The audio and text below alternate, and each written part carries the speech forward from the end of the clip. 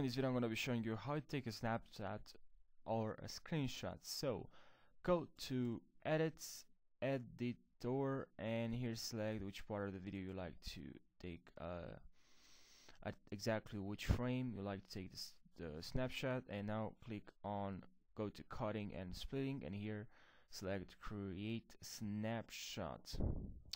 And here we have our snapshot this is the snapshot.